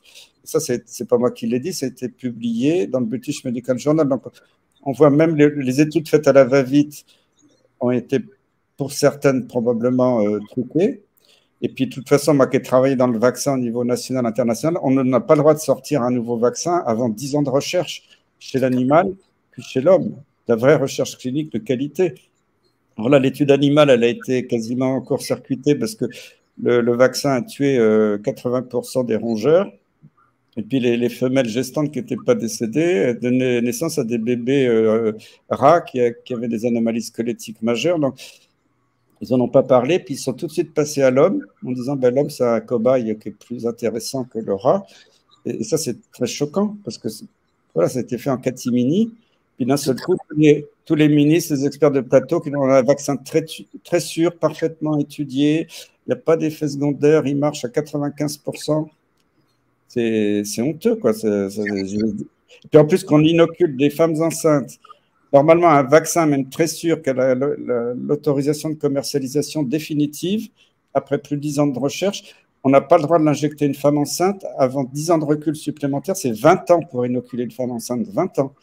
Même quand il y a eu les nouvelles formulations de vaccins coquelucheux, euh, ben maintenant ça fait plus de 20 ans, mais qui étaient sortis il y a, euh, je sais pas, plus la date exacte, mais enfin il y a environ 25 ans, où euh, c'était des, des, vaccins très purs, qui avaient l'autorisation normale de commercialisation, ben, on n'a pas eu le droit de les recommander à la femme enceinte avant 20 ans de recul. Et là, d'un seul coup, euh, Véran qui dit jamais on inoculera une femme enceinte. Tu te souviens, il avait dit ça à la télé. Oui, tout à fait. Et puis quelques mois après, on le voit inoculer lui-même euh, euh, une femme qui est maintenant ministre. Hein, je crois que c'était Olivia Grégoire. je ne l'avais pas reconnue parce que je la connaissais. Je l'avais rencontrée au cabinet Xavier Bertrand, mais là, elle était masquée. Et Véran était masqué aussi, donc, mais là, je, je l'ai reconnu. Euh, c'est honteux d'avoir fait ça. Et, quand on voit, euh, je me souviens, il y avait un gynécologue euh, en Vendée, je ne sais plus dans quelle ville, si c'était La Rochelle ou dans ce coin-là, qui avait commencé à témoigner qu'il n'avait jamais vu autant de fausses couches chez des, femmes enceintes inoculées. Et il a disparu de la circulation de la fétaire. Hein. Donc, il y a des témoignages de beaucoup de gynécologues, de sages-femmes qui, observent beaucoup de fausses couches. Il y a même eu des malformations euh, d'enfants nés après l'inoculation. Mais tout ça, c'est secret d'État. On n'a pas le droit d'en parler. Donc, je ne peux pas donner de chiffres précis parce que euh, tout est camouflé. Mais est-ce que si on demande à la justice de rendre public euh, toutes ces informations, est-ce que la justice peut, peut obliger nos États à le faire? En théorie, mais euh, avec l'association Bon Sens, on a fait plus de 60 plaintes en justice. Euh, à chaque fois, c'est rejeté. Euh, parce que la, justice, bah, c'est malheureux, hein, mais elle est, aux ordres aujourd'hui. On ne peut pas arriver, même au niveau européen. Il y a des gens qui ont tenté des plaintes au niveau de la Cour européenne des droits de l'homme, tout ça. la plupart du temps, c'est rejeté. Euh, c'est très, triste parce que dans une démocratie qui n'est plus une démocratie, quand il n'y a plus. Normalement, les médias, ça devrait être un pouvoir indépendant. Euh, les médias sont aux ordres et la justice devrait être indépendante et euh, beaucoup de juges, malheureusement, sont aux ordres. Et ça, c'est. C'est terrible de, de, voir ça. Moi, j'ai peur de vivre dans cet état. On n'est plus en état de droit. Et en catimini, ils nous suppriment de liberté jour après jour. Oui. Alors, euh, on me pose une question ici intéressante. Euh, avant la question, je voulais juste dire un mot, parce qu'après on va oublier. Ce qui oui, c'est en train de passer le, traité de l'OMS. Alors que l'OMS, maintenant, c'est la succursale de la fondation Bill et Melinda Gates, qui est le plus gros financier entre la fondation elle-même et Gavi, qui est l'alliance des vaccins, mais qui appartient à Bill Gates, c'est le plus gros financeur, plus l'industrie pharmaceutique qui finance énormément. Et l'OMS va avoir le pouvoir au-dessus de tous les États de décider s'il y a une pandémie. Et maintenant, ils peuvent décider s'il y a une pandémie sans qu'il y ait un seul mort. C'est quand même euh, délirant. Et si l'OMS dit, tiens, il y a une nouvelle pandémie d'eczéma de, la grenouille qui est très dangereux, ils peuvent confiner, donner l'ordre à tous les États qui devront obéir de confiner leur population, de fermer les frontières, de supprimer toutes les libertés fondamentales, de nous inoculer de force des nouveaux produits qui n'auront pas été testés, euh, alors j'espère que là, les gens se, se, rebelleront, qu'ils ne se feront pas avoir comme la première fois. Mais c'est extrêmement inquiétant ce qui est en train de se passer à l'OMS. Je crois que bon, beaucoup de gens le voient, mais malheureusement, la majorité de la population ne le voit pas ce qu'on est en train de leur concocter pour supprimer nos libertés. Et, ce sera, et donc, ils ont, là, ils ont lancé le, nouveau pass mondial sanitaire qui sera corrélé à votre compte bancaire. Donc, si vous n'êtes pas inoculé, ben, on pourra bloquer votre compte bancaire. Ça devient vraiment Big Brother comme dans les pires bouquins d'horreur. Ouais. Alors, euh, il y a des bruits qui courent comme, euh, comme quoi Elon Musk souhaiterait racheter l'OMS, comme si l'OMS était à vendre. C'est terrible d'entendre ça. Ça, j'ai pas entendu parler de ça, mais c'est possible. Mais l'OMS, euh, normalement, c'est les États qui doivent contribuer, mais évidemment. mais elle n'a pas assez d'argent. C'est comme des milliers de fonctionnaires. Euh, et puis il y a des États, je, le sais, quand je travaillais à l'OMS, on me le disait, certains États euh, ne payaient pas chaque année leurs cotisations. Donc l'OMS était un petit peu en ruine. Alors c'est vrai que euh, ils, sont très contents d'avoir des, millions, des centaines de millions de l'industrie pharmaceutique, de Bill Gates. Mais moi, quand j'y étais, j'avais un copain français qui travaillait à l'OMS, mais qui avait toujours des contrats à durée déterminée parce que l'OMS n'avait pas assez pour, pour embaucher beaucoup de gens de façon définitive un jour, tout content, il me dit Ça y est, Christian, euh, j'ai un, contrat à durée indéterminée, je suis, titularisé euh, à l'OMS. Puis après, il me dit oh, Ce qui m'embête, il montre sa fiche de paye. Sa fiche de paye, c'était la fondation Bill et Melinda Gates. Donc, c'est la fondation Gates qui finance des fonctionnaires de l'OMS pour leur salaire. C'est malsain, ça. Bien sûr, bien sûr. Est-ce que tu t'attendais à un tel déchaînement contre toi? Non, mais bon, après, ça m'a pas surpris parce que j'avais. Je m'étais déjà un petit peu endurci avec mon combat sur la maladie de Lyme. Parce que même si j'étais un homme de l'intérieur, un homme du système, et que je connais tous les rouages de tout, euh, je m'étais quand même opposé à mes collègues, pourtant qui m'adoraient, qui m'élisaient à l'époque toujours euh, président de tout. Et, je m'étais opposé quand même au gouvernement de l'époque, à, la direction générale de la santé, un peu à la haute autorité de santé. Donc, je j'avais un petit peu l'habitude de me battre en dehors des, clous. Euh, là, le Covid, c'est un enjeu encore plus important. Euh, mais c'est vrai que ça, a été violent. Hein, mais surtout, ce qui m'a. Après, quand j'ai vu qu'ils avaient aucun. Si vraiment ils avaient eu des arguments solides et que j'avais dit des bêtises, ça m'aurait touché parce que bon, euh, tu as dit des, bêtises, il faut assumer maintenant, tu as des preuves. Un jour, on m'avait balancé l'article du Lancet, bah, tu vois, euh, tu racontes n'importe quoi, tu as toute la science contre toi, dis un peu les bonnes publications. Puis après, quand, quand j'ai lu l'article, ça m'a fait rire parce que 95 000 patients qui tombent du jour au lendemain, quand il faut faire une étude internationale avec trois pays, il faut déjà six mois pour se mettre d'accord pour la logistique, passer dans les comités d'éthique. Là, c'était impossible. Et puis, il y avait, il y avait quelques auteurs, mais il n'y avait, avait pas le nom des hôpitaux, des médecins qui avaient participé. que Ça, ça, puait le, ça puait le mensonge. Mais quand j'ai vu que Finalement, il manipulait tout, la science, le truc. Il n'opposait jamais un seul argument scientifique, sauf des articles, le professeur Perron à la dérive, la chute du professeur Perron, tous les chercheurs de l'INSEAD contre le professeur Perron. Ça m'avait fait marrer cet article parce que dans l'article, il y avait un seul chercheur qui n'était même pas directement à l'INSERM, qui était à l'Agence nationale de recherche sur le sida. Donc, les, titres complètement euh, accrocheurs et rien dans l'article, rien. Euh, Moi, personnellement, ce qui m'a choqué, et tu l'as vu, je, je l'ai mis dans l'introduction que j'avais faite sur toi, c'est le refus systématique de tous les grands médias de parler de ta relax. C'est-à-dire, ils, ils t'ont tous attaqué, mais quasiment pas un seul de ces grands médias a osé dire que tu as été blanchi ah ben, ça leur a fait mal aux fesses. Et, parce que je, quand je suis passé à la chambre disciplinaire, ils ont tous dit ben, il va voir ce qu'il va voir, il va être radié, il va en prendre pour son grade. Euh, et après, quand j'ai été blanchi, il y a même un journal, alors je suis très pas long parce que je suis plus sûr de, duquel c'est, mais enfin, un des journaux aux ordres, qui a titré. Euh, Qu'est-ce qu'il avait titré à l'époque? Ah oui, le professeur Perron a-t-il été vraiment blanchi par le conseil Exactement, j'ai vu ça. Ils le mettent à la forme interrogative. Donc les gens qui lisent que le titre, ah ben, finalement, il n'a pas été blanchi complètement. C'est pervers. Oui, oui, le monde qui met des points d'interrogation à la fin. Voilà, donc finalement, quand on m'attaque et que je sais que c'est pas vrai, ça ne me touche pas. Maintenant, ça glisse comme sur de la toile cirée, j'en ai rien à faire. J'ai honte pour eux, j'ai peine pour eux, parce que tous ces gens-là, un jour, ils devront en rendre des comptes, euh, forcément, même si ça va être long, qu'on est encore en, on est encore en tyrannie. Et pas que sanitaire. Euh, les tyrannies ne durent jamais éternellement, ça se casse la gueule un jour. Et, on voit qu'ils commencent à avoir la trouille, hein, c'est pour ça qu'ils essaient de se protéger. nos médecins de plateau, on les entend plus beaucoup ouvrir leur bouche aujourd'hui. Hein. Exactement, les soi-disant experts qui ont remplacé les vrais scientifiques. Alors, écoute, comment tu peux expliquer que la majorité des médecins ont délégué leur, leur mission de soigner à l'État sans rien dire et même en, en, en encourageant Alors, l'immense majorité des médecins sont des, médecins de, des bons médecins qui ne sont pas du tout corrompus.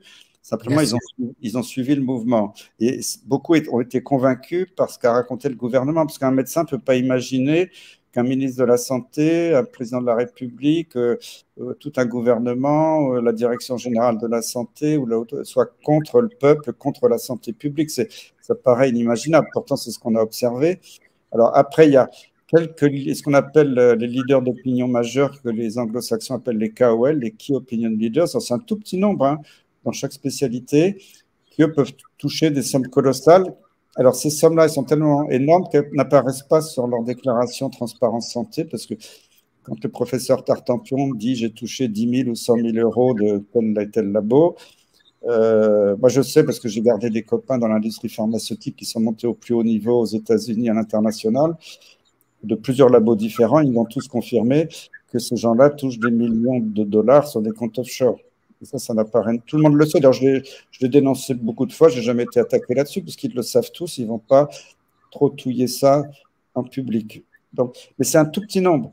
Après, en dessous, il y a les médecins hospitaliers qui ont un certain niveau, qui travaillent tous avec l'industrie, qui font des conventions de recherche. Bon, ils s'en mettent un peu dans la poche directement, mais ce n'est pas forcément des sommes colossales. Ils ont besoin de l'industrie pour publier, pour, euh, parce qu'il y a très peu de fonds publics finalement pour la recherche. Donc, ils sont très dépendants. Les sociétés savantes touchent des sommes énormes de l'industrie.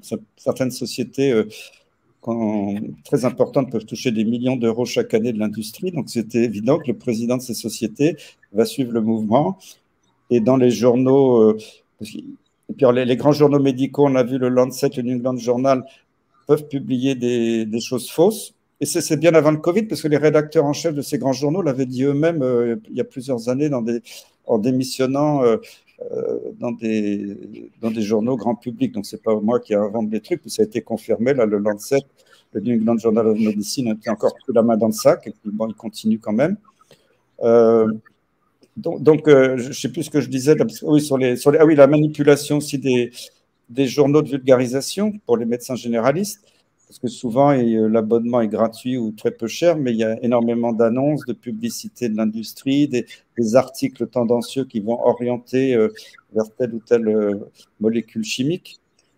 Donc on s'aperçoit que les médecins baignent dans un monde de, désinformation au service de Big Pharma, c'est sûr.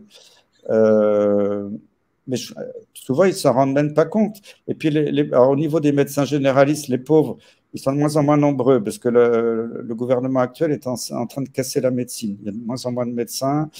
Euh, l'hôpital public est en train de mourir. Les urgences, on, attend quatre jours, certains jours, et on meurt aux urgences. On meurt en attendant le SAMU qui ne peut plus venir tout de suite. Donc, on a dans un monde de destruction de la médecine.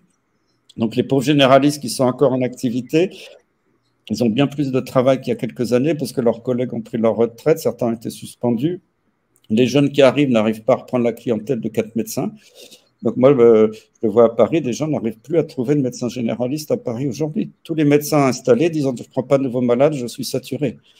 Euh, et alors, donc ces pauvres médecins travaillent de 8 heures du matin jusqu'à 10 heures du soir pour certains. Ils ont à le temps de, ils mangent un petit sandwich à midi, ils rentrent crever le soir. Euh, ils mangent un petit morceau, ils regardent la télé une demi-heure avant d'aller se coucher, ou alors ils entendent les sornettes qu'on va tous mourir et tout. moi, je leur ils n'ont absolument pas le temps de lire, euh, de faire la bibliographie, de lire toutes les études publiées. Parce que s'ils avaient que ça, s'ils rentraient euh, tranquillement à 5 heures chez eux, ils auraient peut-être le temps de faire une heure ou deux de, de revue des publications. Mais ils n'ont pas le temps. Et puis, les, ces résumés de la littérature scientifique qu'on leur vend dans les journaux médicaux euh, de vulgarisation sont complètement biaisés, pipés. Euh, c'est pas du tout la réalité scientifique. Donc, euh, comment ils font? Et, bon, Moi, je ne jette pas du tout la pierre à ces médecins. Heureusement, certains ont été lucides, ont, vu. Il y, en a aussi beaucoup, beaucoup qui m'écrivent, qui me soutiennent, j'en croise tout le temps. ils me disent bravo, on est à fond avec vous mais ils ne veulent pas le dire publiquement parce qu'ils ont peur d'être radiés. Euh, c'est difficile aujourd'hui de vivre dans la peur et on, en a sanctionné quelques-uns pour l'exemple. Vous vous rendez compte que l'hydroxychloroquine n'a jamais été interdite à l'hôpital, contrairement à ce que m'a dit le Conseil de l'ordre, donc ils ne sont même pas renseignés, euh, a été interdite en ville très peu de temps, quelques semaines, parce que c'était au moment de la première vague avec Véran, mais l'interdiction a été levée début juillet 2020 et depuis, n'importe quel médecin a le droit de prescrire l'hydroxychloroquine. L'ivermectine, ça n'a jamais été interdit. Et pourtant, des pharmaciens ont refusé de délivrer. Euh, des médecins ont été dénoncés par la caisse d'assurance maladie pour avoir prescrit. Il y en a qui ont été radiés pour ça. C'est totalement honteux. Euh, alors que ce n'était pas une interdiction. On a le droit de prescrire hors AMM. Euh, donc, on a fait croire aux gens que c'était interdit. Et là, je reviens de la Martinique. Quand j'avais dit ça, je m'étais fait attaquer en disant c'est défectueux. J'ai discuté avec des médecins, des pharmaciens. La gendarmerie avait saisi les stocks d'hydroxychloroquine après d'ivermectine, les stocks d'oxygène, parce que comme ils savaient que souvent, quand les gens étaient hospitalisés, ils mouraient, ils ne les voyaient pas revenir, il y a eu tout un réseau qui s'est organisé, le soin à domicile, traitement précoce avec l'hydroxychloroquine, l'azitro après l'ivermectine euh, et pour les gens qui avaient besoin d'oxygène. L'oxygène, j'ai discuté avec une infirmière euh, qui, euh, qui, travaille dans une pharmacie, elle, a fait ça tout le temps. Et d'un seul coup, on leur a interdit d'utiliser l'oxygène et la gendarmerie a saisi les, les, bonbonnes d'oxygène. C'est quand même absolument euh, épouvantable. et puis, ils ont fait venir des, des, comme les, souvent les Martiniquais, des soignants, ne voulaient pas euh, achever les malades au Rivotril, etc., ils ont fait venir des équipes de métropole pour le faire. Je peux vous dire, ça les a traumatisés. Là, ils m'en ont parlé la semaine dernière. Ce qu'ils ont vécu, ça a été absolument terrible. Et c'est pour ça probablement que les Antilles se sont révoltées aussi euh, euh, de façon plus vive et avant la métropole. Et ces histoires de primes, est-ce que les médecins ont eu des primes pour déclarer que les personnes sont mortes du Covid? Alors, peut-être pas pour la déclaration de décès, mais ce qui était, moi je l'avais dit, je m'étais fait attaquer, mais enfin c'était les, on le trouvait sur le site de la sécurité sociale, c'est que quand un médecin diagnostiquait un Covid, alors comment c'est que les tests PCR étaient bidons et, diagnostiquaient beaucoup de gens en pleine forme Covid, euh, le prix de la consultation était augmenté automatiquement. Donc c'est vrai, alors beaucoup de médecins ne l'ont pas fait pour ça, mais c'est vrai qu'il y en avait certains peut-être qui avaient intérêt à déclarer beaucoup de Covid et à faire beaucoup de PCR pour pouvoir euh, arrondir un petit peu leur fin de mois. Mais ça, quand je l'avais dit, je m'étais fait attaquer par les syndicats de médecins en disant que je disais n'importe quoi, mais il suffisait de regarder, c'était les fêtes.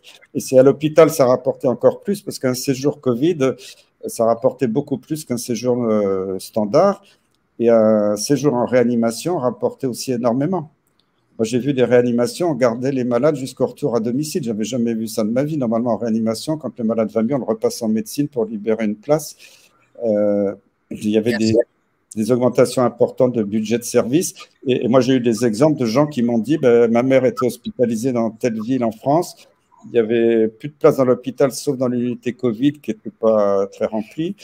Et euh, on a mis ma mère dans l'unité Covid, alors qu'elle n'avait pas le Covid, mais euh, il fallait que aussi après son, séjour soit codé Covid. Il y a plusieurs personnes qui m'ont dit, eh ben, l'hôpital, euh, moi j'ai quelqu'un de ma famille qui est décédé, euh, pas du tout du Covid à l'hôpital, mais la direction de l'hôpital m'a dit que si on acceptait que soit, le décès soit codé Covid, on nous offrait les funérailles. Pas qu'une personne qui m'a dit ça. Je ne dis pas que ça a été fait partout. Beaucoup de directions d'hôpitaux, ils ont été très honnêtes et tout, mais il y a eu des endroits, il y a eu des dérives. Euh, et puis tout ça à l'échelon d'un pays, ça peut faire beaucoup, beaucoup de dérives. Et ça, c'était terrible. Moi, je dis que les médecins de base, ils ont été honnêtes, simplement, ils ont. C'est très difficile. C'est difficile de sortir du troupeau. Et puis, je pense que beaucoup n'avaient pas forcément le recul, euh, l'expérience euh, de gestion de crise comme ça, sanitaire, pour pouvoir dire qui a raison ou pas. Parce qu'un médecin, il regarde la télé, il voit il voit le ministre qui dit quelque chose ou un autre expert de plateau, puis il voit, il voit Perron qui dit l'inverse. Pourquoi Perron aurait plus raison? Puis Perron, après, tout le monde a dit c'est un charlatan qui a pété un câble. Donc après, dans les, les, dîners, dans les dîners en ville, on dit ah, pardon. Si quelqu'un cite, les gens disaient mais attends, tu écoutes encore Perron, mais tout le monde sait que c'est un, un, charlatan. Un charlatan blanchi néanmoins. Voilà. Non, il vaut mieux rire de temps en temps. Bien sûr. Alors, euh, j'ai vu une, euh, une vidéo de Arte qui dit qu'il y a eu dans le monde 20 millions de morts du Covid. Est-ce que c'est une réalité ou il y a les accidents de la route euh, dedans? Ben, ben, Non, mais tout le monde est. Beaucoup de gens, on leur a mis l'étiquette Covid au moment du décès dans les codages. moi, j'ai eu des témoignages de, savez, dans les hôpitaux, depuis Sarkozy, là, que l'hôpital doit être rentable, on code les séjours et selon le, code de la maladie, l'hôpital gagne tant ou tant d'argent pour coder le séjour. Et il y a une incitation dans certains endroits pour que le, médecin responsable du codage, dès qu'il y avait un syndrome respiratoire un peu inexpliqué, automatiquement, pof, mettre le, code Covid. Moi, j'ai vu à Garges des gens qui venaient pour la rééducation, qui n'étaient pas du tout malades, qui n'ont jamais eu de fièvre, qui n'ont jamais éternué ni toussé leur test PCR était positif, automatiquement le séjour était Covid. C'est. Alors que quand, on parle des effets secondaires, c'est jamais le Covid. Voilà. Et il faut savoir qu'on normalement on n'a pas le droit de faire de PCR en dépistage de masse. Malheureusement, Carrie Mullis, le, cet Américain génial euh, en Californie qui avait inventé la PCR, malheureusement, alors qu'il était en pleine forme, il faisait du surf, bon, il est, qu'il est mort euh, de temps euh, juste avant la pandémie. Sinon, je pense qu'il aurait hurlé dans les médias en voyant comment on avait dévoyé sa technique. On n'a pas le droit de faire de PCR en dépistage de masse chez des gens qui n'ont aucun symptôme. La PCR, comme il y a toujours des faux positifs ou des faux négatifs aussi, doit être un test de confirmation d'un diagnostic clinique et radiologique. Et en sachant qu'il y a des erreurs. Moi, j'ai vu beaucoup de Covid euh, absolument prouvés sur le plan euh, radiologique, des gens qui avaient perdu le goût, l'odorat et qui avaient des PCR négatives et puis d'autres qui étaient en pleine forme. Dans les écoles, on a inventé des épidémies qui n'ont jamais existé. Il y, a, il y en a un qui a une PCR positive, on faisait la PCR à toute la classe, à toute l'école. Forcément, on trouvait quelques cas positifs, mais qui étaient en pleine forme. Et après, on fermait les classes, on fermait les écoles. Et le ministre de l'Éducation nationale et le ministre de la Santé euh, disaient ah euh, heureusement qu'on est là, parce qu'on a, dû fermer 3000 classes euh, pour sauver la France, alors que les enfants n'ont jamais fait de Covid grave, n'ont jamais transmis euh, ou tué les grands-parents. Tout ça, c'était un, discours diabolique de la part du gouvernement. Alors, euh, quel serait ton conseil aujourd'hui euh, pour aborder l'avenir? Qu'est-ce qu'il nous faudrait faire? Ah ben, ce qu'il faudrait faire, c'est simple, de mettre tous ces vaccins à la poubelle, redonner la liberté de prescription aux médecins. Euh, excuse-moi, je te coupe. Quand tu as dit euh, tous les vaccins, tu veux dire les. Le Covid, hein. bien sûr, bien sûr. Voilà, parce que je sais, je me suis battu avec des gens qui t'ont traité d'anti-vax mmh. en disant je n'ai jamais entendu le professeur Perron dire du mal des vaccins, euh, la poliomélite euh, ou d'autres. Euh, D'ailleurs, le Conseil de l'ordre l'a reconnu dans son jugement que je n'avais jamais tenu de propos anti-vax. Donc, je, le rappelle pour ceux qui me traitent d'anti-vax toute la journée. donc, on jette ces pseudo-vaccins à la poubelle, on redonne la liberté de prescription aux médecins et surtout, on, augmente de façon considérable le numerus clausus parce qu'il n'y a, a, plus assez de médecins, il faut réaugmenter le nombre d'étudiants en médecine il faut euh, redonner des moyens aux hôpitaux qu'on est en train de faire crever, parce que je pense que euh, Macron, il attend qu'une chose, c'est que l'hôpital soit tellement délabré qu'il puisse le vendre pour un euro symbolique à des... À, des, euh, à Big Pharma. Puis à des fonds de pension américains qui n'attendent que ça. Ou des, donc, refinancer la médecine. Et ça coûterait pas si cher quand on voit que Macron a donné 400 milliards d'euros pour le Covid, pour des, des, décisions totalement délirantes avec un petit milliard déjà, on aurait pu payer beaucoup plus d'infirmières et puis euh, ben, il n'est pas capable de donner un milliard aux urgences euh, alors qu'il donne des milliards par dizaines, par centaines, y compris des milliards au cabinet McKinsey et autres, et des, milliards à la presse. Il ne faut quand même pas se moquer du monde.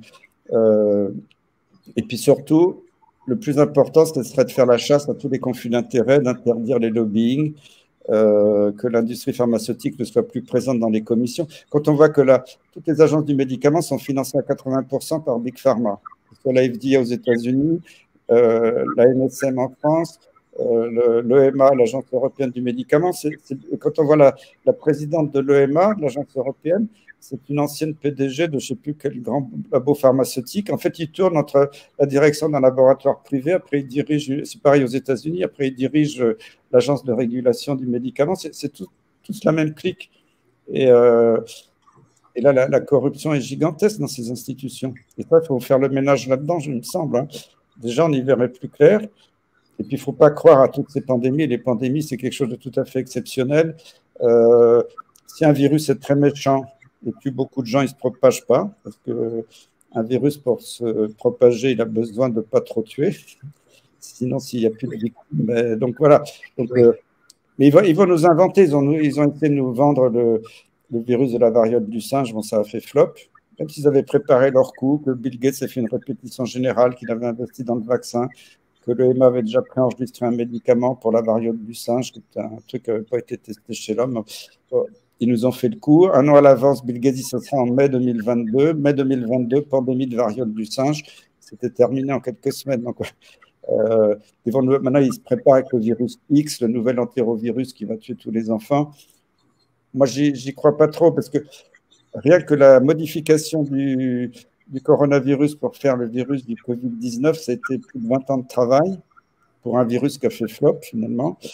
Euh, suis pas sûr qu'ils puissent nous en sortir un comme ça facilement.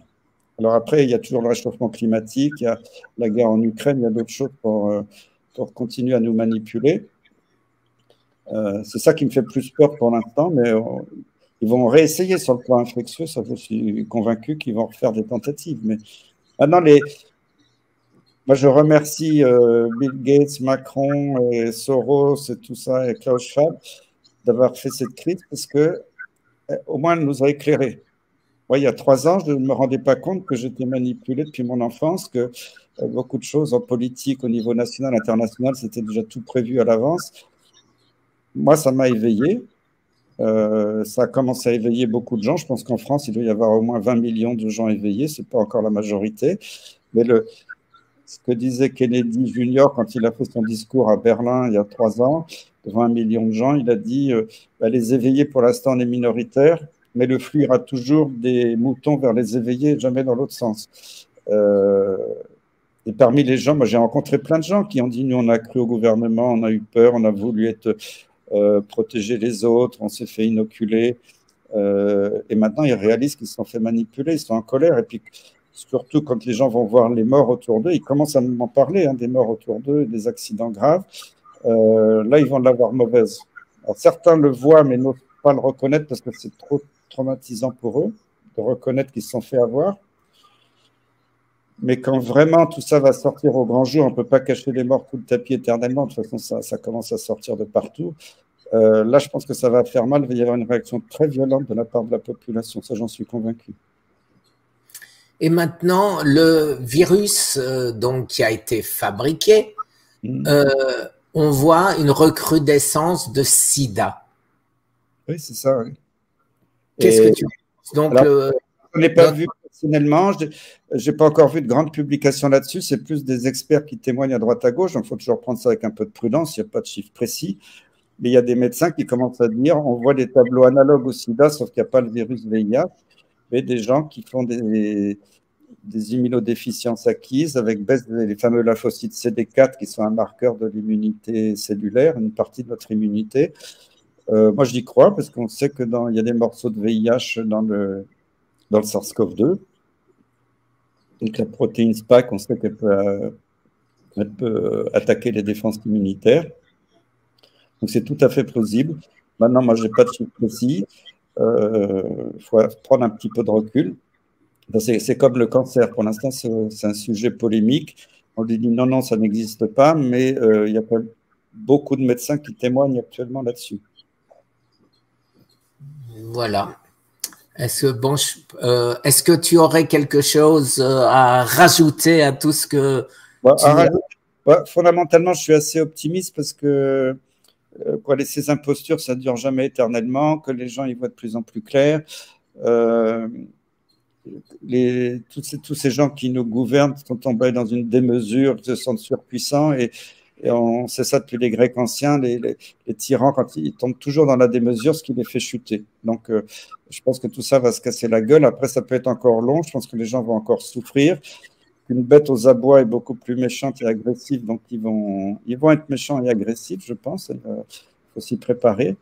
Euh, il faut regarder ce qui s'est passé dans d'autres pays qui n'ont pas avalé tout ça, où ça s'est très bien passé. Euh, et puis aussi, ce qui me, ce qui me rassure quelque part, c'est que tous ces gens qui font ça, c'était pour établir un nouvel ordre mondial au-dessus des, des gouvernements. Alors, ils sont tous pour le nouvel ordre mondial, mais les Américains disent oui, nous, on veut le nouvel ordre mondial unique, gouvernement unique, mais bien sûr, c'est nous qui dirigeons, on est les plus forts. Les Russes disent, mais attendez, ça ne va pas la tête. Nous, on a la plus grande surface de terre au monde. Et les Chinois? On a toutes les richesses. Donc, s'il y en a qui dirigent, ça doit être nous, les Russes. Les Chinois vont dire, ben, nous, on est à 1,5 milliard millions, euh, c'est nous qui devons diriger. Les Indiens peuvent dire la même chose.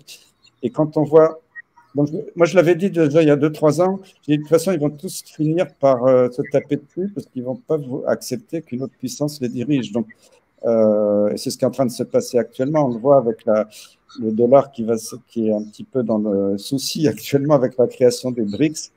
Et plein de pays du monde, et pas des moindres, qui se rejoignent pour euh, faire leurs échanges financiers euh, en dehors du dollar. On voit que ça commence à craquer de partout. C'est pour ça que c'est dangereux, parce que les États-Unis aux abois aussi peuvent, perdre la tête et puis euh, euh, déclencher une troisième guerre mondiale. Euh, donc il faut, quand même être méfiant. Mais globalement, je, suis optimiste parce que tout ça va trop loin et que les gens commencent à prendre conscience. C'est pour ça qu'ils sont. Pourquoi ils veulent absolument fermer Twitter en urgence? Parce que toute la vérité passe par les réseaux alternatifs qu'ils appellent la désinformation, en fait, c'est la circulation de la vérité, parce que les données, on les a, hein, les gens ne les voient pas parce que les médias de grand chemin ne les montrent pas. Donc voilà, c'est pour dire que nous sommes dans une période terrible, les gens ont vécu des choses très difficiles, mais je, reste malgré tout un indécrottable optimiste. Et je pense qu'on va se sortir de cette situation. Alors, je ne sais pas quel est le délai, hein, mais euh, je pense dans pas si longtemps, j'espère en tout cas. J'espère que la justice retrouvera son intégrité. Oui, tout à fait. Eh bien, écoute, euh, merci Christian. Alors d'abord, euh, il y a Valérie Montalier qui m'a dit de te dire bonjour. Oui, bonjour. Et je tiens à dire que c'est grâce à Valérie, merci Valérie, de m'avoir présenté le professeur Christian Perron. Euh, merci Valérie. Voilà, euh, je te remercie euh, énormément de cette euh, prestation qui nous éclaire tous. Et j'espère, j'espère que notre combat, qui a un côté similaire de mon côté, puisque moi je me bats contre l'INCA, l'INCA, tu sais, est le ministère de la Santé, moi je leur dis toujours que Big Pharma essaye de gagner de l'argent, c'est leur boulot. Mais que vous, État français, ou vous, Institut national du cancer, cautionnez au lieu de défendre les malades, c'est ça qui n'est pas normal. Tout à fait.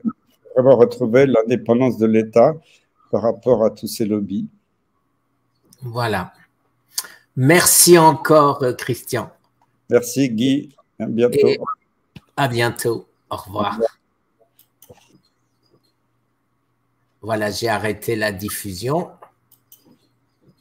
OK. Alors, qu'est-ce qui se passe? Pas encore? Voilà.